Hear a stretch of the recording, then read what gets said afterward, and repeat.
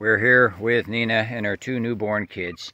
And we just uh, assured that the little guys got a little supplementary colostrum from the bottle. Just we always do that if we can't catch them in action nursing from the mother. We're not going to take the, the time to try to get them nursing right away from the mother if they haven't already done it. I know this little girl already has, but he, I hadn't seen him doing it, so I make sure, and I tell you, he drank it up. He really went for that bottle. So we watch them real close, and we make sure they're getting on their mother's teats and drinking their mother's milk. But and then in the first 24 hours, they got to have that colostrum. We don't want them to be at a deficit for that, so we, we do what we need to do on that. Um, here is Nina's paddock. It's a nice little size paddock next to the other goats. But here is her home.